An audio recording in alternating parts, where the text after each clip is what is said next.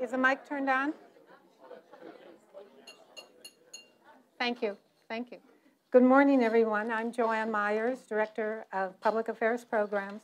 And on behalf of the Carnegie Council, I'd like to welcome our loyal subscribers, those subscribers who have yet to renew, and those who are thinking about becoming one to this Public Affairs Breakfast program. To mark the beginning of this program year, it is our pleasure to host the renowned political scientist and public intellectual Frank Fukuyama. Beginning with his legendary essay, The End of History, Professor Fukuyama's writings on the state of the international order have proven prescient time and time again. In his most recent book, Identity, The Demand for Dignity and the Politics of Resentment, his scholarship and lucid analysis is once again on display as he returns to themes he began to explore in 1992. This book will be available for you to purchase at the end of the hour today. Around the world, identity politics is being blamed for deepening political divisions. From Budapest to Rome, London to Washington, every social, political, and economic debate is colored by identity. Where once differences in background and culture were celebrated as inspiring multiculturalism, our differences feed perceptions of unbridgeable division. Where once immigration was seen as enriching Western societies, it is now considered a cause of distress. Whether it is class, race, ethnicity, gender, or religion, political leaders all over the world are mobilizing their followers around the idea that their dignity has been affronted and must be restored. As Professor Fukuyama writes, identity politics has come to the fore. It has become our common culture, no longer the province of one party or side, it has entrenched both sides of the political spectrum, fueled populist nationalism, authoritarianism, religious conflict, and democratic decline. But what is identity, and what does it mean today? In Identity, the demand for dignity and the politics of resentment, Professor Fukuyama addresses this question by providing a historical overview leading to a modern concept of identity.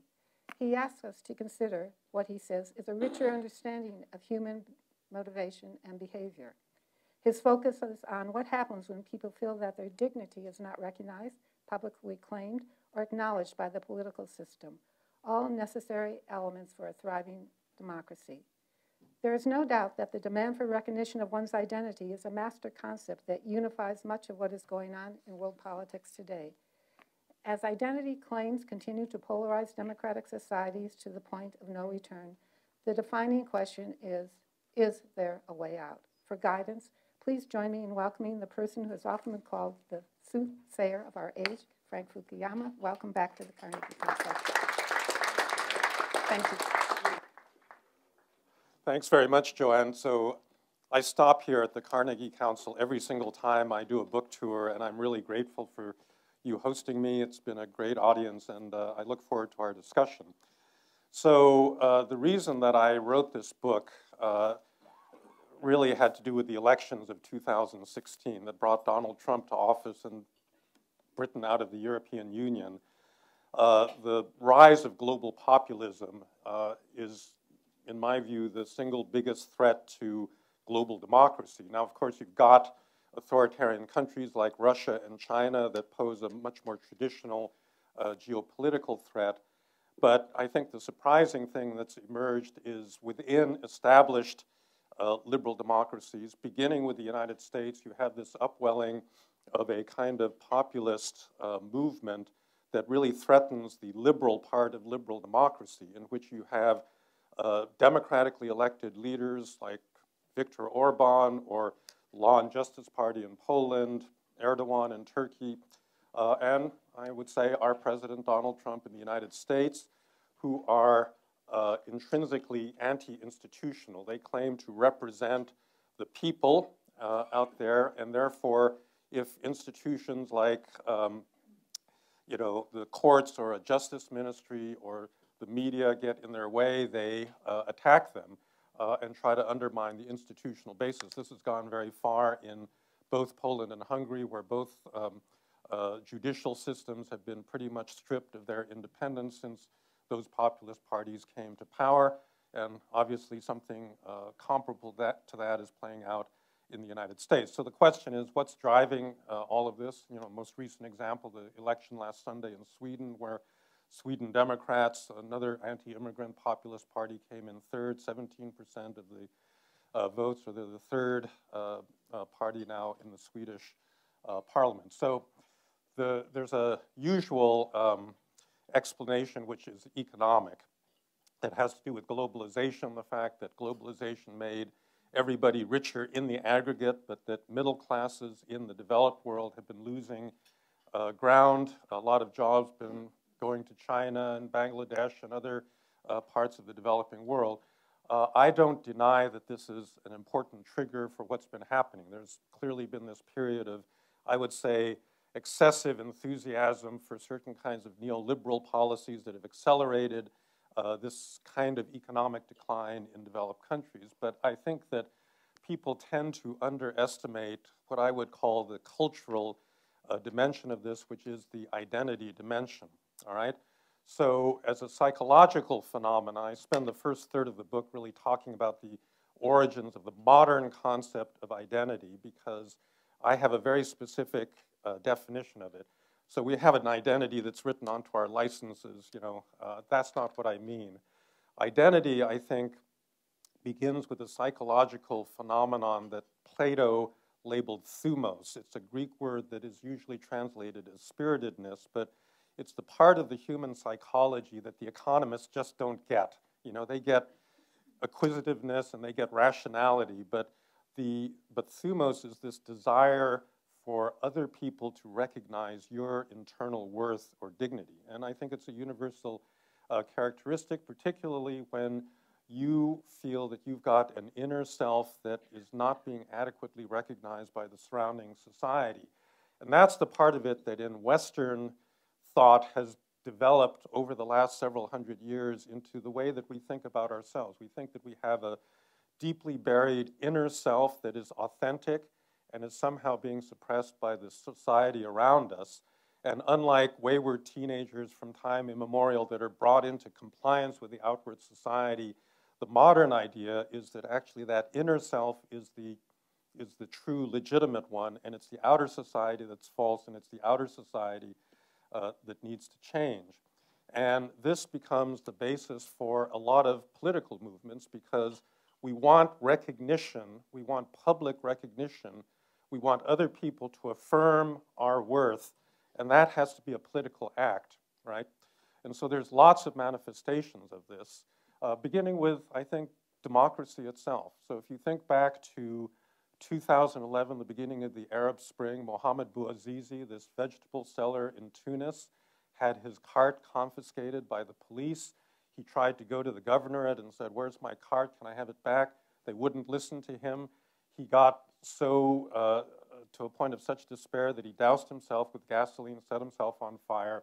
And that was the trigger for the Arab Spring because this was a very recognizable act of denying someone's basic humanity. You know, you don't think that this person, this citizen of your country is worth even uh, responding to when you take away his livelihood. And this is, you know, it was a very familiar thing. This is the problem with authoritarian government. Authoritarian governments do not treat their citizens as full human beings with agency, with voice, as people that they have to respect. And I think that, you know, so obviously the Arab Spring went very wrong after that point. But I think that opposition to this lack of dignity was at the base of those protests. In Ukraine in 2013 14, you actually had an uprising that the Ukrainians themselves, the young Ukrainians, labeled the revolution of dignity against Viktor Yanukovych, this kleptocrat, friend of uh, Putin's, that was trying to drag Ukraine back into the Russian uh, orbit. And they felt that this kind of a regime did not give opportunity and dignity to them. And this is what led to Yanukovych's you know, being uh, forced to flee Ukraine and this second attempt after the Orange Revolution to create a democratic uh, country. All right, so this is the basic, you know, I think that dignity actually lies at the basis, uh, as a basis of liberal democracies. We give our citizens dignity by giving them rights. They have the right to speak, to associate, to believe in what you know, religious belief they want, and they have the right to participate in a political system, in a democratic uh, political system.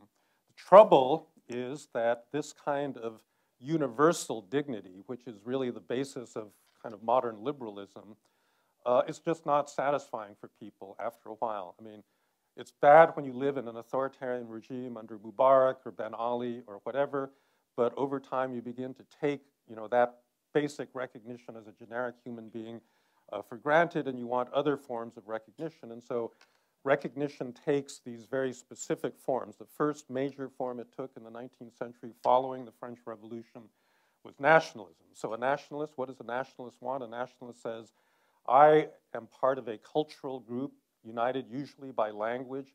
We don't have our own representation as an independent country. So if you're Serbia buried in either the Ottoman or the Austro-Hungarian empires, you want a separate uh, independent Serbia. And this kind of force is what really drove the First and Second uh, World Wars, is people seeking recognition not as generic human beings in a liberal society, but as members of specific ethno-linguistic groups uh, demanding recognition uh, as such.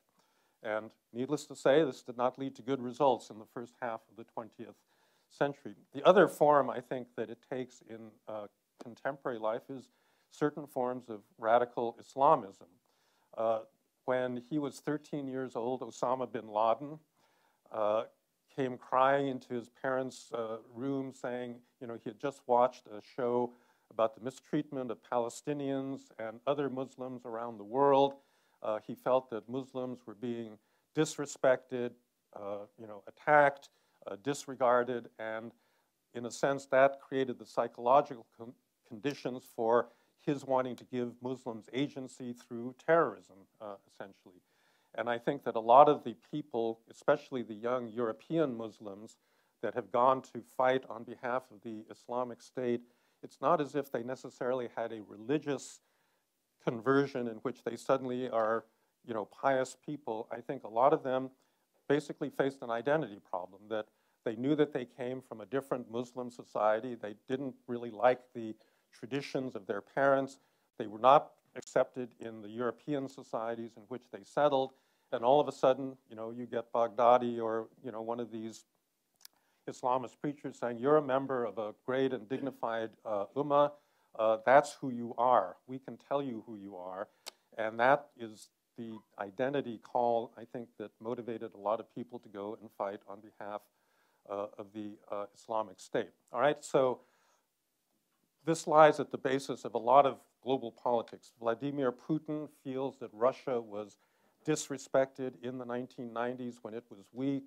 This allowed NATO to push up to its you know, borders and incorporate all these former parts of the Soviet Union.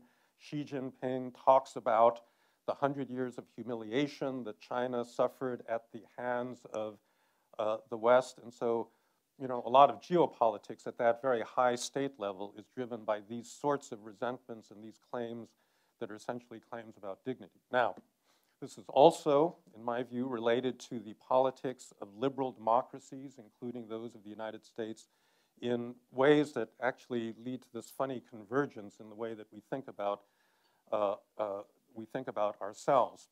So in the 1960s, you had the beginning of a whole series of very important uh, social movements, beginning with the civil rights movement for African Americans, the feminist movement, the LGBT uh, rights movement, movement for the disabled, Native Americans, all of these groups had in common the fact that they were not recognized, that they were invisible to the rest of mainstream uh, American society.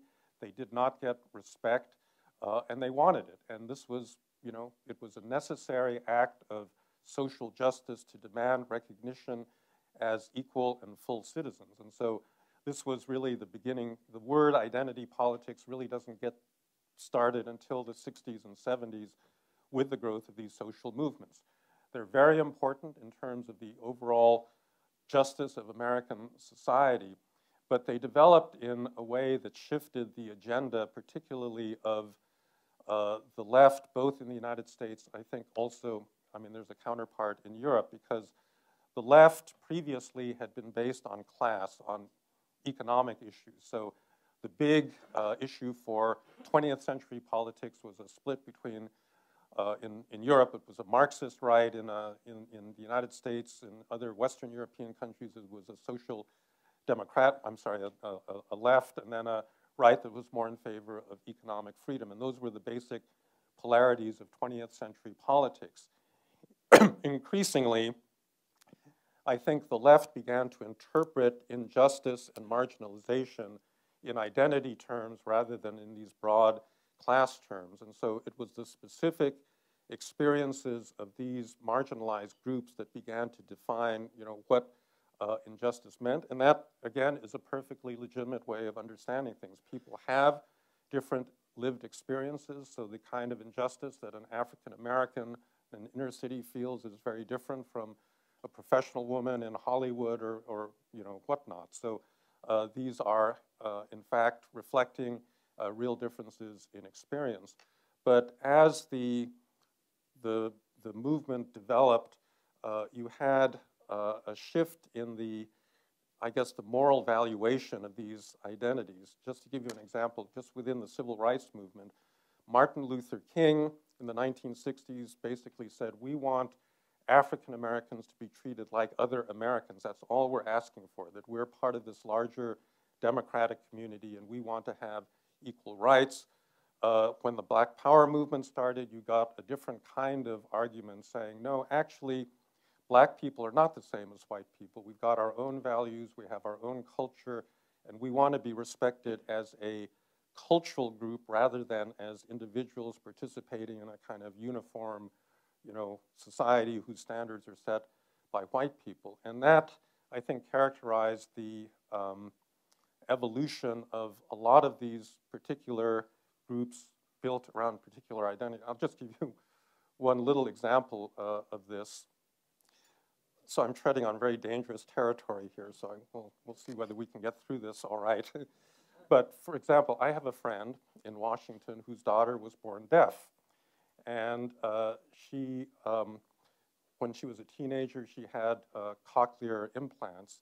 And all of a sudden, she could hear well enough to actually become, and then she went to law school and now is actually an advocate for uh, deaf people. But there was actually a lot of hostility to just the idea that she should have this kind of an implant because the argument within you know, certain parts of the, uh, the deaf community was that you know, we have our own culture and you are undermining that because you're suggesting that you know, you're disabled in a way that you know, and, and, and you can see how dignity politics plays into this, that you don't want to you don't want to imply that anybody's worth is less than anybody else because of a physical uh, disability. And so this is kind of the way I think that politics has uh, evolved, and it is troubling for a couple of different reasons. So first, democratic societies, uh, of course, are pluralistic, and they have these differences in experience, but if they're going to be democratic communities, they also have to hold something in common. They have to have certain common values in order to discuss, to deliberate, to you know, work together in the context of uh, democratic uh, institutions. And when identity begins to stress you know, difference rather than shared experience, or if you say you've got these different lived experiences but no possibility of a common experience, then I think you've got a, a, a certain problem. Uh, there are other you know, manifestations of this. I think in terms of free speech, this has been discussed a lot. I think this is more a, an issue in certain universities and in the arts community and, and so forth, where uh, there is a view that has grown up that my, the way that I was born determines the way that I'm going to think. Uh, so that, you know, and that can be based on race, ethnicity, gender, sexual orientation, gender orientation, uh, and so forth. And uh, that is a really ironic outcome because, in a sense, the struggle of modern liberalism was to get away from biological characteristics and say, actually, no, we're all equal human beings, we all have equal agency, and we're going to interact, you know, as this kind of uh, universal, you know, human agent. Uh, and instead, you're saying, well, no, actually, we're all divided into these groups that are determined by you know, how we're born, our religious traditions, our, you know, biological condition, and that should influence the way that we think about politics, about culture, uh, about a lot of other issues. And so there's something, you know, there's something discordant with uh, a kind of understanding of, of liberal tradition, I think, that is involved in this sort of uh, identity uh, politics. Uh, the worst thing, I think, in a sense, is what it's done. So this, this, this understanding of identity that grew up on the left has now triggered uh, a, corresponding movement on the right, and that's what Donald Trump represents. Uh, so Donald Trump, I think, uh, th this is the part that I think a lot of people don't quite understand. A lot of people voted for Donald Trump who are not, you know, workers in manufacturing uh, uh, plants that lost their jobs to China. You know, a lot of people are much better off uh, than that. Uh, they still supported him.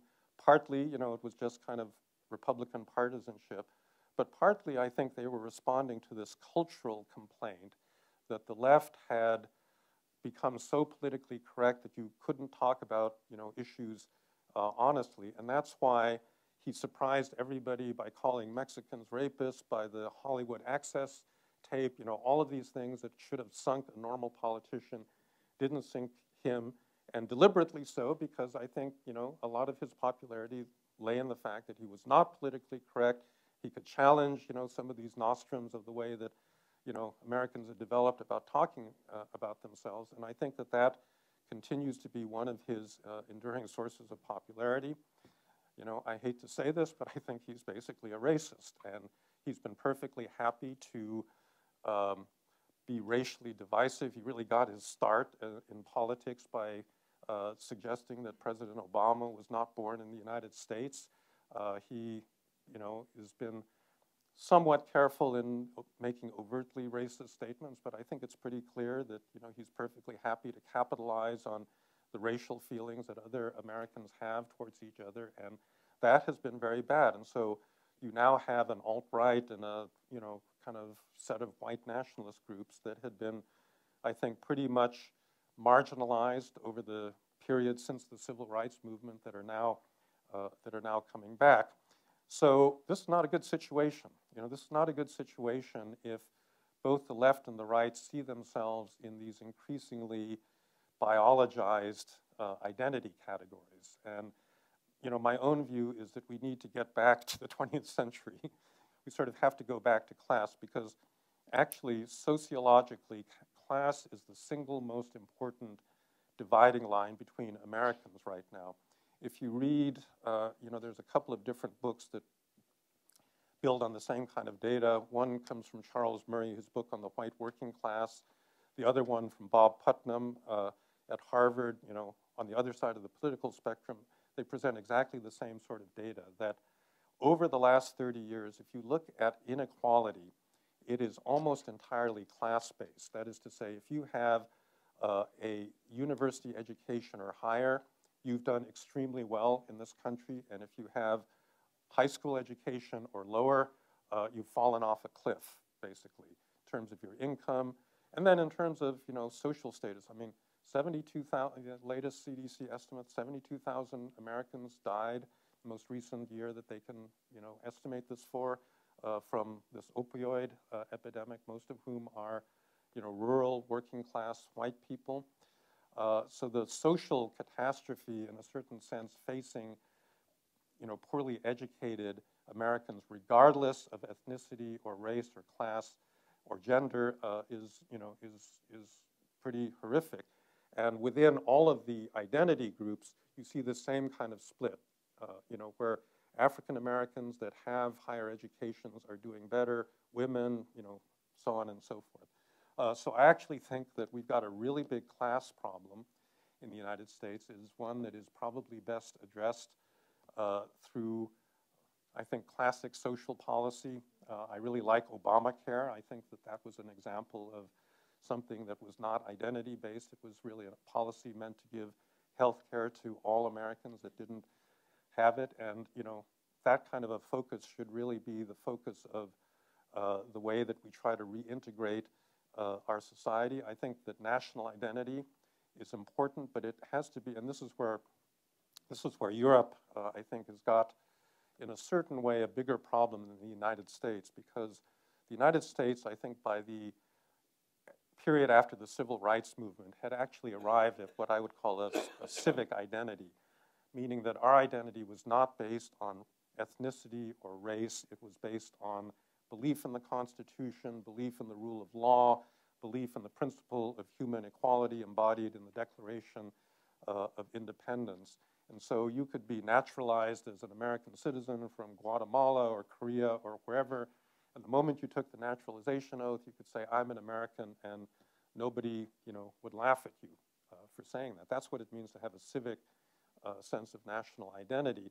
And I thought that that had been an acquired, you know, something that we had really acquired painfully over, you know, the 250 years of American history.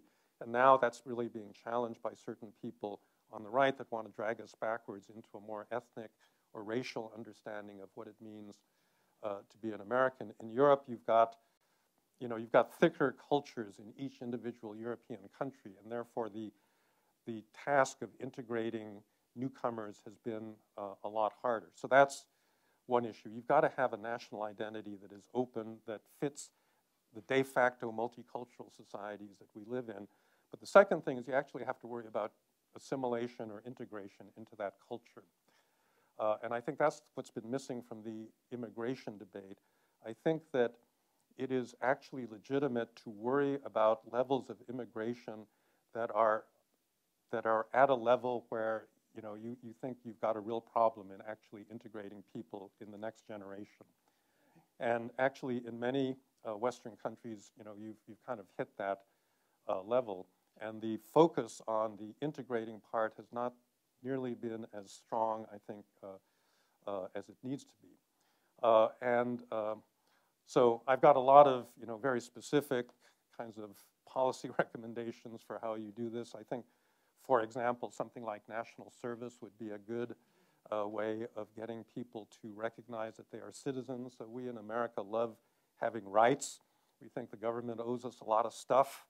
Uh, we don't tend to think that we owe the government very much. Uh, and I think that the model of national service involved in you know, something like the, the draft uh, didn't lead to very good military outcomes, but it actually had a very important socially integrating function. And today, you know, the Army is actually one of the few places in which Americans of different regions and backgrounds and, you know, classes actually are forced to work together under stressful circumstances, you know, and uh, most of, uh, we've segregated ourselves by class to such an extent that that really doesn't happen in very many other uh, institutions. So maybe with that, I got a bunch of other ideas, uh, you know, about how you deal with this kind of issue, but maybe we'll, we'll leave it there and open the floor for discussion. Thank you.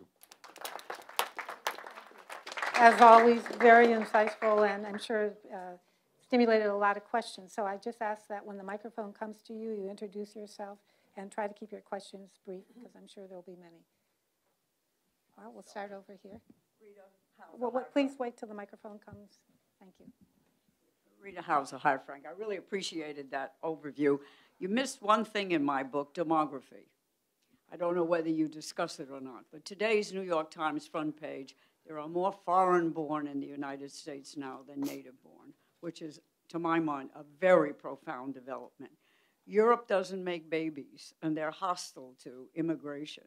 What happens when societies die off for lack of people, even if they keep their ethnic identity? To me, the saving grace for America is immigration. Mm -hmm. If we turn away from that, I don't know what the answer is. All the problems that are involved, nevertheless. But you have to face up to the fact yeah. of declining demographies.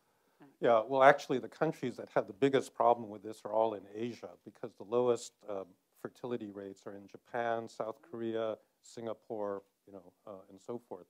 Singapore is a little different, but most of those other countries do not permit, uh, you know, wide, uh, widespread immigration, and they're going to have an even more severe problem. So again, I think that actually, the, the, the, figure that the Times said, the number of foreign-born in the United States is about 15% right now of the total population, which is about what it reached by the 1920s when the Reed-Johnson Act was, uh, you know, was passed, cutting, uh, cutting off immigration. I think, again, you can tolerate different levels depending on what your, depending on the way that you manage the policy. So, for example, Australia and Canada today have higher levels of foreign born than the United States. They do not have populist movements the way we do. And part of that is that, you know, I think actually they don't have very much illegal uh, immigration.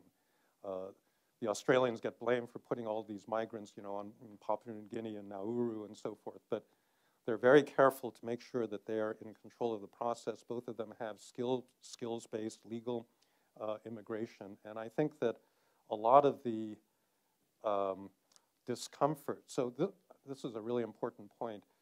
I, I think that there is a tendency to think that anyone that is, a, you know, is questions the current immigration system is basically a racist or a xenophobe and just doesn't like all these foreign-born people. I think there's a lot of reasons for thinking that we might not have the right system, and, and one of them has to do with the rate at which we can actually integrate people into the, uh, you know, into the broader uh, society. I think that was why Angela Merkel really made a really big mistake back in 2015, you know, by, in theory, just throwing the doors open completely because, you know, frankly, Germany does not have a great record in, you know, integrating people. Its native-born population is declining, so yes, they do need more bodies in there, but they will be successful only if they take people at a rate in which, you know, they can really become part of, you know, German society. And, you know, I, I, so I think that it's, it's legitimate to, you know, consider factors like that uh, uh, and not just think about, you know, numbers.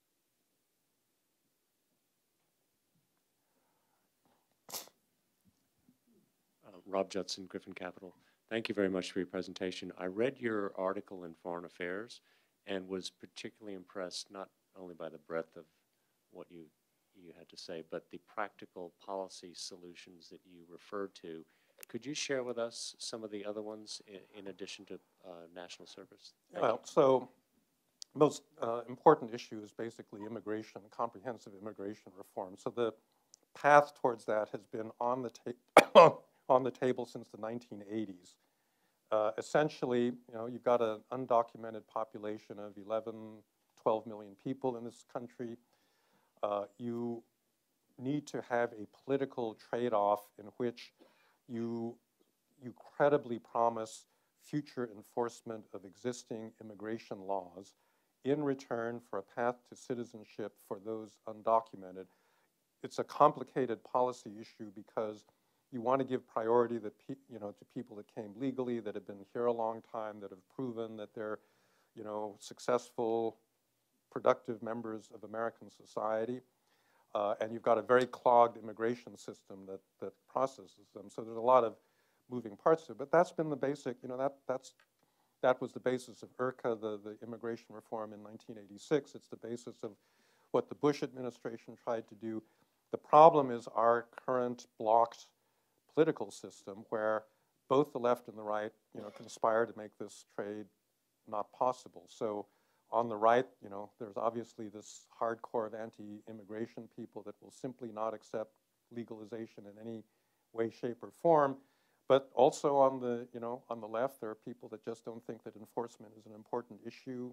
Uh, and I think both of those positions are wrong. I mean, so in other words, what you need is DACA, but not just for children right? You need DACA for the parents as well. I mean, the parents have been in the country for 15 years, you know, working as a busboy or a maid or something. Why shouldn't they, you know, also have a path towards citizenship? So, so that's the theoretical solution. The big political problem is how, how the hell you get there, given the fact that, you know, the, the two poles of the, you know, the fight have a veto over the, the respective parts they don't want. But that's, you know, I think that's clearly the goal that you need to work your way towards. Thank you. My name is E. Peterson. I'm uh, the ambassador of Denmark to uh, the UN. Sorry. Thank you very much for the um, uh, uh, your presentation. Just just two questions. You pointed to reintroducing classic social policies uh, as, as, as one of uh, the instruments coming from Denmark, uh, yeah, where we got, have based, yeah. based our welfare state on that, Sweden as well and so on. But we actually also see these tendencies, and you mentioned yourself the election in Sweden last week. So the question, could you elaborate a little bit on you know, uh, it, what what do you see and, and how should should how should they be adjusted in, in, in any way? So Mm-hmm. uh, if, if if we are to pursue that, I think we are uh, definitely. Mhm. And, and there's a second question is working in the UN. It's it's it's tempting to ask where do you see international cooperation uh, in this? Uh, you know, the UN since it was established uh, stands for an international normative framework in a number of areas, in particular human rights and so on. Uh, but we also see now, uh, uh, uh, in particular from the US, but also from others, uh, Mhm. kind of retrenchment from uh, international uh, cooperation. Um, so where do you see that as, as part of this, how we somehow make adjust for the, uh, the developments? Yeah. So uh, you're right that in continental Europe, you've got a very different situation. So as far as I'm concerned, Americans have been brain dead about social policy for 30 years, right? that after the Great Society, we said, all that failed, and we're not going to really take that seriously anymore until you got to the Affordable Care Act, which I think was really a big milestone uh, in terms of actually trying to do something to you know, having the government do something to improve social equality. That's obviously not the problem uh, in Scandinavia. I think in Scandinavia, you have kind of the opposite problem that a lot of the opposition to immigration is due to people thinking that immigrants are going to take these welfare state benefits without paying, you know, into the tax system, uh, and they're going to make it non-viable for the rest of the society.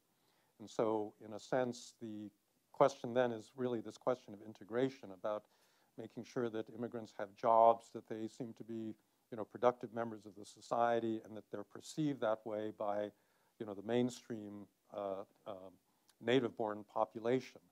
Uh, so, you know, how that's done is is very complicated. We had a nice uh, uh, conference in when I was a visiting professor at Aarhus uh, on the question of national identity. And, you know, the fact of the matter is that European identities are just thicker than American identity. And so that problem of integration is, is, is, uh, uh, is harder. So on the question of the United Nations, uh, it's a, it's a, you know, we're at this peculiar point where uh, there's obviously been this big backlash against um, certain forms of globalization driven by some of these institutions. Now, let me just begin by saying, of course, they're necessary. You know, you, you have a de facto globalized world. It needs to be managed. So you need this whole dense layer of international organizations. A lot of them are very specialized in, you know, sanitary and phytosanitary regulation, air traffic control, you know, uh, uh, all the ISO, you know, agreements and so forth.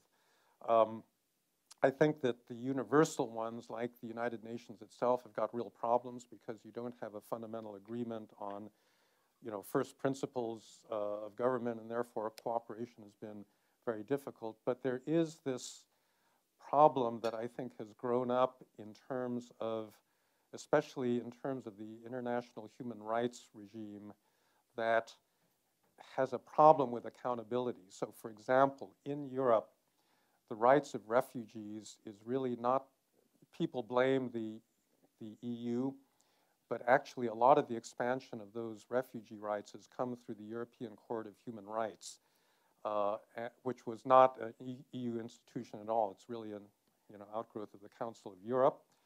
Uh, and, you know, people, so you get this situation in which you cannot deport uh, somebody that has been convicted of terrorism in your country because of the human rights conditions back in Palestine or wherever you know uh, they're being sent back to. And people see this and they say, "This is crazy. We never voted for this. You know, uh, this is something done by a completely unaccountable, you know, supranational institution." And so I think there needs to be some focus on, you know, on this kind of problem. I have no idea how to solve this.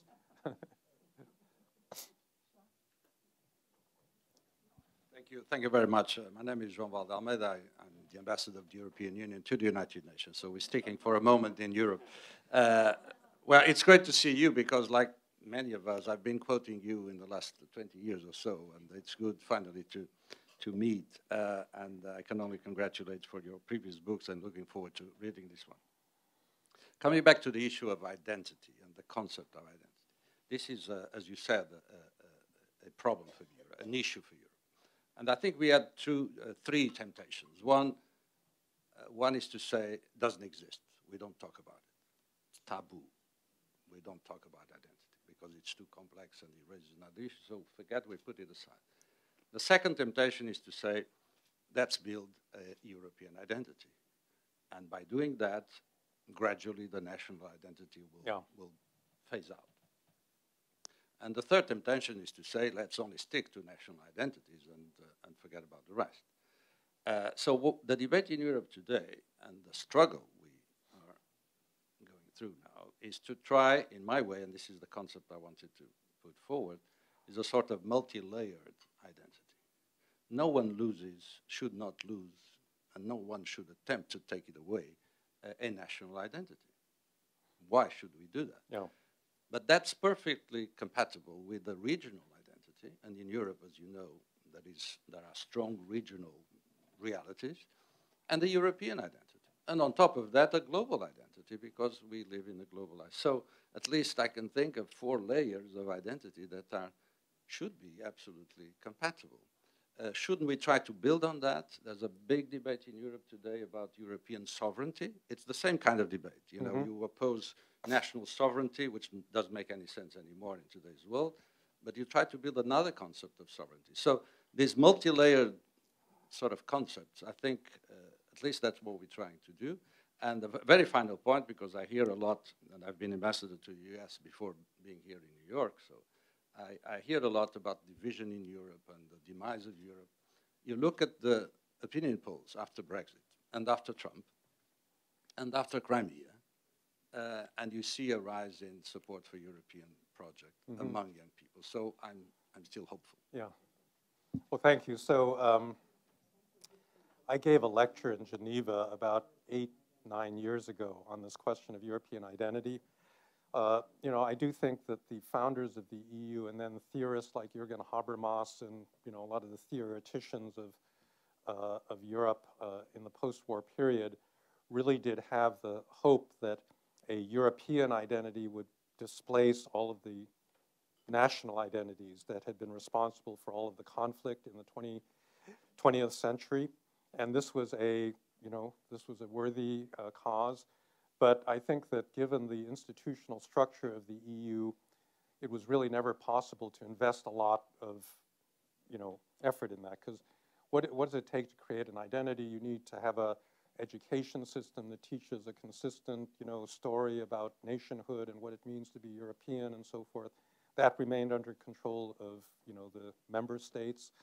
Uh, and as a result, um, you know, this idea of a post-national Europe was kind of a mirage, and I think it was brought home after September 11th, when, you know, a lot of European countries discovered that they had minority populations that really had not been well integrated, and then all of a sudden, this issue of what does it mean to be a citizen and part of our community, you know, seemed to be a much more vivid uh, issue that nobody had really wanted to address, and that's the point at which I think a lot of European countries began to rethink their citizenship laws and you know citizenship requirements and so forth.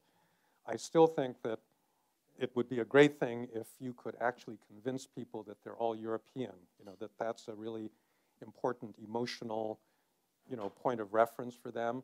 Uh, I just don't think that it's you know terribly realistic right now. I mean, it may be that Europe has recovered a little bit, but you know I think the the, the drivers of that are just, I don't see them institutionally in place. And so therefore, I think the, you know, the, the, the state level, because it is the repository of the legitimate use of force that continues to be, you know, the domain of states, that's going to have to be, you know, the primary community to which people are going to feel emotionally, um, uh, emotionally bound. So yeah, I mean, of course we have all these identities at all these uh, different levels, but I think in the end, uh, you know, we're kind of drawn, I mean, you want to have people integrate into the largest identity possible that, you know, is, is capable of maintaining a democratic set of values across that common cultural space.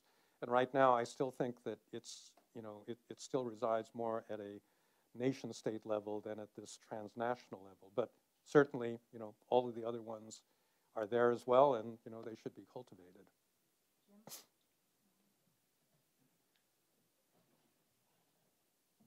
I wanted to come back to the United States. Oh, I'm sorry, Jim Traub, foreignpolicy.com. Um, my sense is that your hopefulness about the possibility of returning to a better sense of identity in the United States rests upon a kind of golden age sense that we reach this equilibrium point in the aftermath of the civil rights movement, where people accepted an idea of a kind of constitutional identity.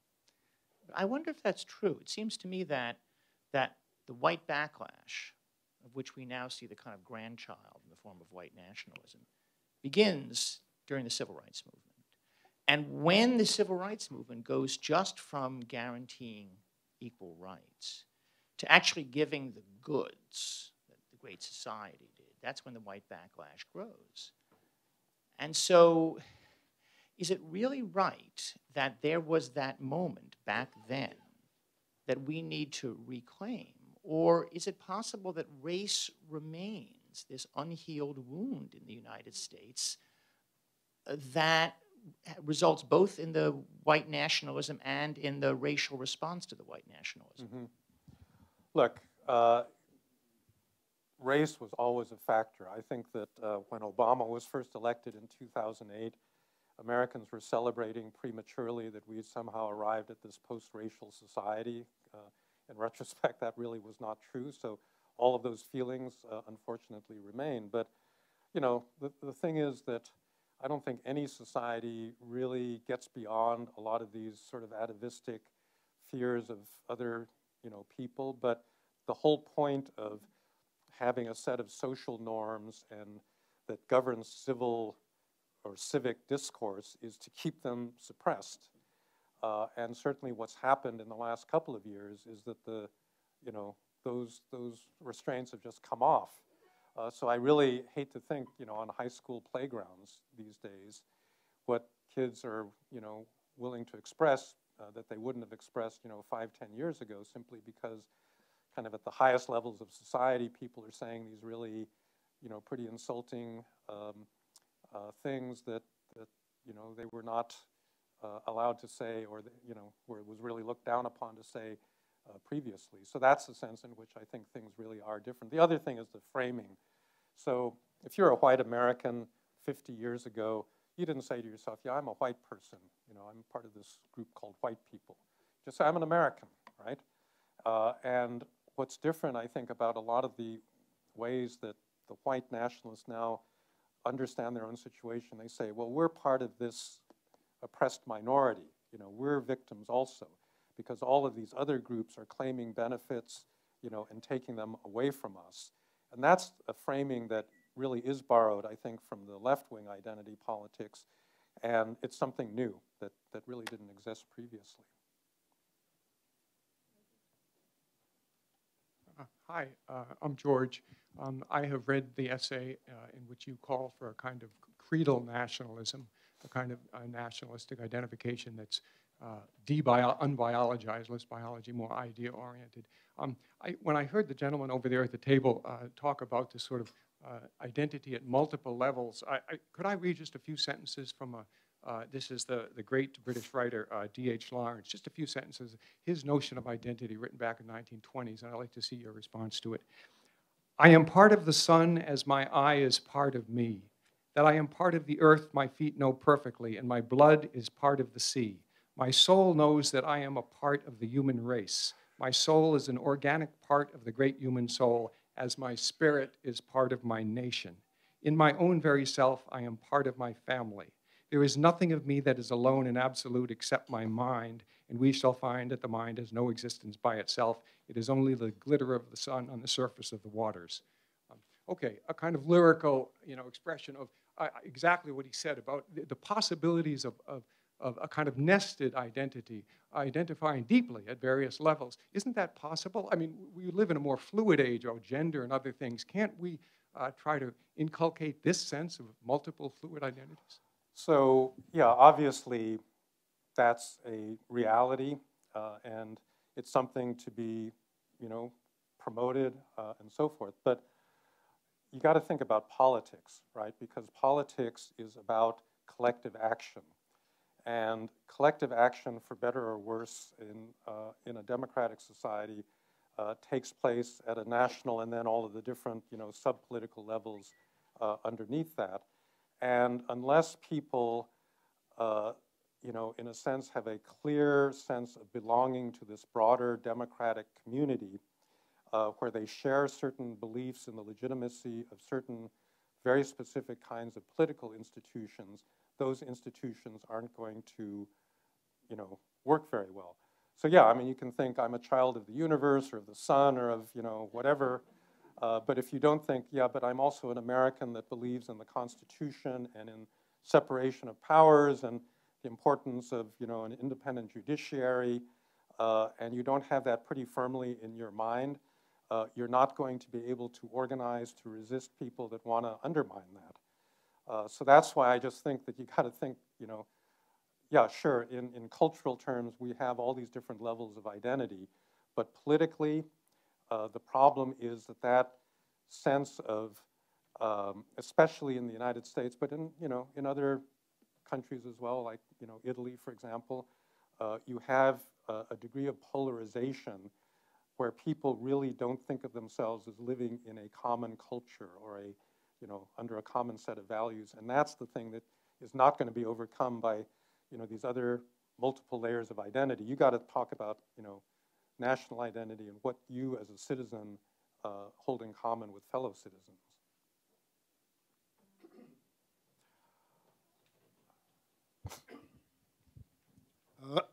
excuse me, Ron Berenbaum, I'd like to get back to demography because I think that's where this discussion started, and I think it's extremely important. Uh, in the United States, we've experienced, or at least the phenomenon has been noted, uh, what we call the Great Sort, where the people who have what is called a creedal uh, commitment to the United States seem to be migrating to the cities, and the people who have a blood and soil commitment uh, remain in the small towns. Uh, at the same time, uh, the smaller entities in American politics retain disproportional political power. I mean, North Dakota has two senators, so does California. Uh, so, and this phenomenon is not unique to the United States. I think it's in uh, UK, where I spend a good deal of my time, uh, the only large city uh, that voted for Brexit by a narrow majority was Birmingham. So uh, I don't know how you overcome these demographic imbalances. I know that it's been on my mind. I recently read Middlemarch and the Great Reform Bill of yeah. 1832, where they tried to eliminate some of these disparities successfully. But now we seem to have regressed practically to the point that's depicted in that novel. Mm -hmm. Uh, so you're correct uh, in saying that the single, uh, the single most powerful correlate with who votes for a populist party is population density. Uh, and so, and this is true uh, for many countries other than the United States. It was certainly true in Britain. But if you look at who votes for Viktor Orban, you know, it's not people living in Budapest. It's it's you know, more rural voters, who votes for Erdogan in Turkey. It's not people in Ankara or Istanbul. Uh, you know, it's, it's more uh, uh rural kinds of voters. Um, so these are correlated, you know, population density is correlated with certain kinds of conservative uh, social values. And I think that um, that's you know, that's just become a feature of, of the nature of politics. How you overcome that, uh, I think uh, you're not going to undo that sorting because a lot of that is driven by, you know, these structural factors having to do with education and access to services, a lot of things that are very, very hard to correct. I think that's why I think that what you need to do is work on the ideational understanding of identity so that uh, it doesn't become the case that you know one party simply sees itself as representing a certain set of values. and, and by the way, I don't think that it's the case that all the creedal people just live in big cities. You know, I think they've got a problem with that creedal understanding too. Uh, uh, I think actually a lot of people living in small towns, you know, still have this older sense of, you know, what America stands for that is, you know, pretty, you know, pretty healthy. So.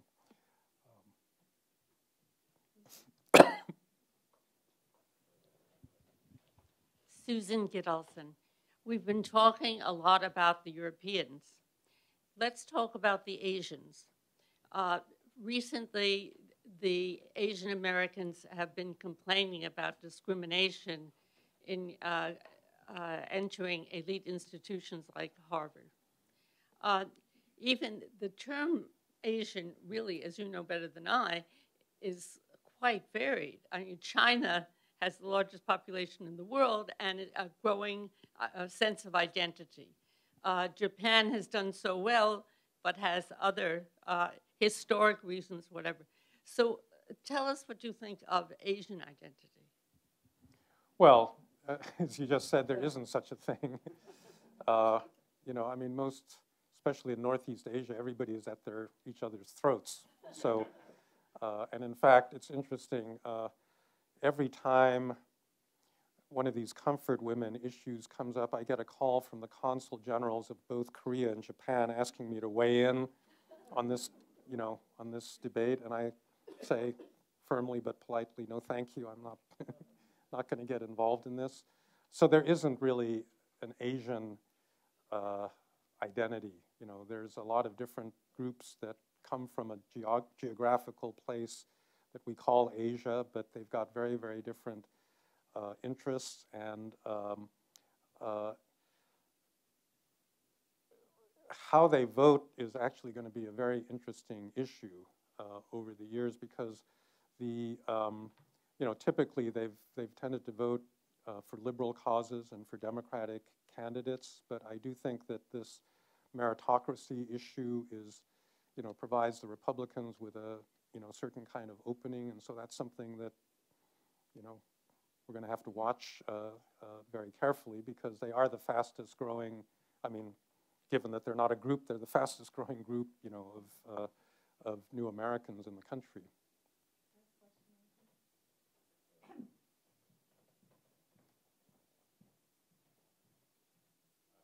Felice, uh, which party steps away from the identity competition first? I mean, because you could easily see the Democratic Party doubling down on cobbling together the identity groups. Yeah. And this continues for a while. So who steps away from the You know, I don't first? know the answer to that, but that points to an important issue, and it's really one of the things that I wanted to get across in my book. I think the Democratic Party today, so let me just lay everything out on the table. I think it's super important that the Democrats win in November. I, I say that not as a partisan Democrat. I mean, I wasn't a Democrat up until I moved to California, but I, I, but I just think that you're not going to get any accountability and the checks and balances in the system are not going to work unless the Republicans suffer a pretty big electoral setback uh, beginning in, in the November election. Uh, so, you know, that's the starting point. But the Democrats in 2020 are going to have a really big problem because they've got this strategic choice to make about whether they double down on their existing uh, identity groups. Uh, there's a big temptation to do that because that's where all their activists live. And if you want to get voter turnout, you know, that's the strategy that you use, and that's, you know, the way you can win elections. On the other hand, the reason that Trump won in the Electoral College was because he lost enough of these white working class voters in Michigan, Wisconsin, uh, Pennsylvania, that, you know, he, he won in the Electoral College. And I think it's actually very, so that's the choice, is whether you double down on, on the identity politics or whether you try to uh, adopt a position that welcomes back some of those white voters. I think it's a very bad situation if the Republican Party continues to go in the direction it's going in right now. It becomes a party of white Americans. And the Democratic Party becomes a party of minorities plus a few professional, you know, white liberals. Uh, that's not a good situation for the country to be in. And I think, therefore, you know, my hope is that the Democrats choose the, you know, the broader the broadening strategy, because among other things, even though you can win an election based on the identity groups, it's going to be hard to govern under those uh, circumstances. Giving us so much to think about, and thank you again for Okay, coming. thank you. Thank you. So we have a table set up. I'm